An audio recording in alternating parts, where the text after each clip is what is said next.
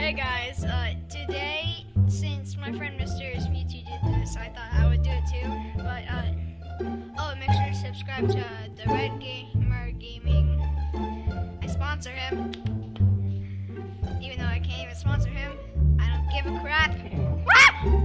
so, anyways, I'm doing a top 5 video game, top 5 Steam games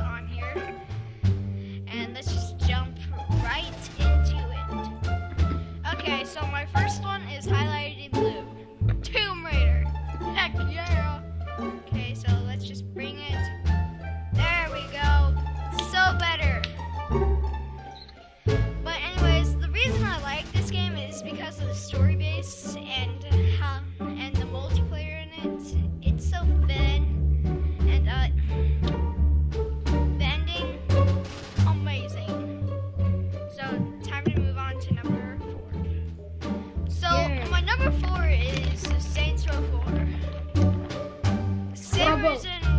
the, Tomb Raider game. It's got a, great story base, and this one it's actually extremely fun because you can play with you can play with superpowers, have amazing guns, and have a tentacle bat, which is awesome.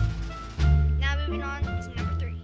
My number three is Mirror's Edge because it's a parkour game. What do you expect, bruh? Nothing beats Anyways, parkour. It's an FPS and a parkour game. What's better than that? I mean, seriously. Ah!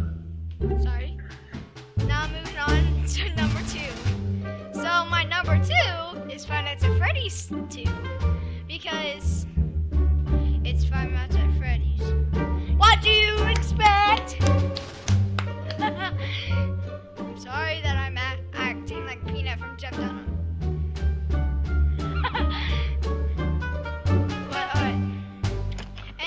It's super competitive because you never know when you're gonna freaking die. It's super freaking scary, which makes you want to pee your pants, and it's super freaking fun. This is number one. Drum roll, please. Hold up, I forgot to choose it. Okay, so now drum